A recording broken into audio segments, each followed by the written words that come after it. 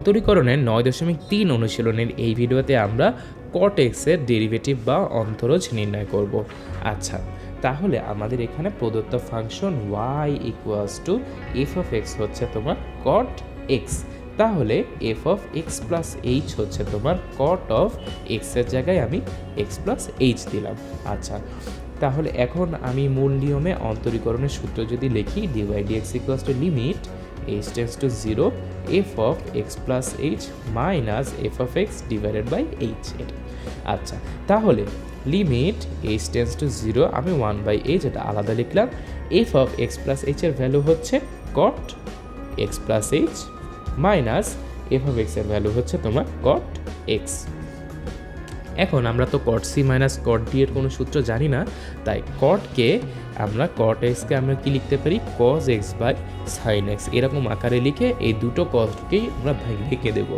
আচ্ছা তাহলে limit y tends to zero one by h into cot x plus HK লেখা যায় cos x plus h divided by sine x plus h minus cot এক্সকে লেখা যায় তোমার cos x by sine x আচ্ছা তাহলে এখন আমরা লসাগু করব।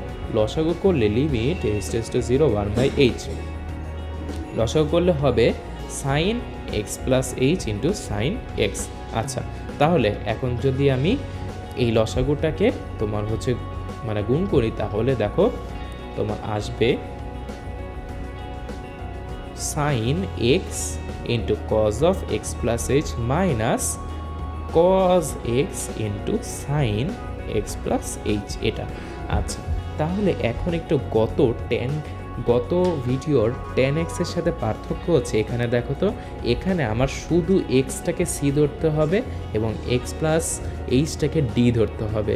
তাহলে তোমার সাইনে বা এটাকে এ ধরো, এটাকে বি ধরো, তাহলে কি সাইনে cos B minus cos A sine B অর্থাৎ আগের ভিডিওতে এইটা ছিল এ এটা ছিল বি এখন এইটা হচ্ছে এ এটা বি তাহলে এখন সেই অনুসারে সূত্র যদি আমি লিখি, তাহলে হবে limit h tends to zero sine of A minus B এখানে এ হচ্ছে এক্স মাইনাস বি বি হচ্ছে এক্স মাইনাস এইচ শেষ। এটা ডিভাইডেড বাই কজের যেটা হচ্ছে sine x plus h into sine x এটা। আচ্ছা এখন আমি শুধু লিমিটটাকে ভাঙিয়ে দিলেই হয়ে যাবে। Limit h tends to zero দেখো তো, এইটা এখানে বাদ দিলে হয় কত? মাইনাস এইচ তাহলে মাইনাস এইচের জায়গায় মাইনাস এইচ তো আমি sine of minus theta equals to minus sine theta লিখতে পারি। তাহলে এই মাইনাস ওয়ানটা আমি আগে বসিয়ে দিই।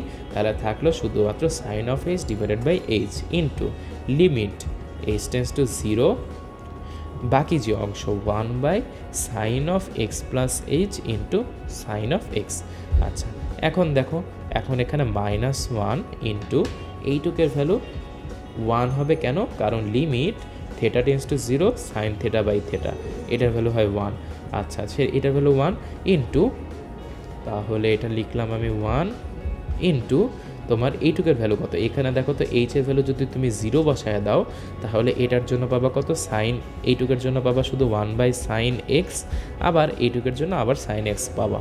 আচ্ছা তাহলে কত হলো? দেখো ওয়ান আর মাইনাস ওয়ান মিলে হবে minus one by sine square x অর্থাৎ মাইনাস কোসেক্স স্কোয়ার এক্স এটা হচ্ছে তোমার কট এক্সের ডেরিভেটিভ তাই আমি যদি সূত্রটা লিখি finally d d x of cot x হবে তোমার মাইনাস কোসেক্স স্কোয়ার এক্স শেষ। ঠিক একই রকমভাবে তুমি যদি সাধারণভাবে লিখতে চাও d d x of cot of m extra কত? সেটা হবে minus m into cosec square যে কোনটা আছে সেই কোনটায় এম এক্স শেষ সেই সাইন এম এক্সের মতো একইভাবে আমরা প্রমাণ করলে এটা পাওয়া যাবে।